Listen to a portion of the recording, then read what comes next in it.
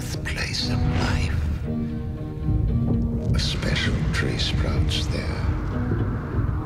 They say whoever drinks of its sap will live forever. A quest that would pull him through time.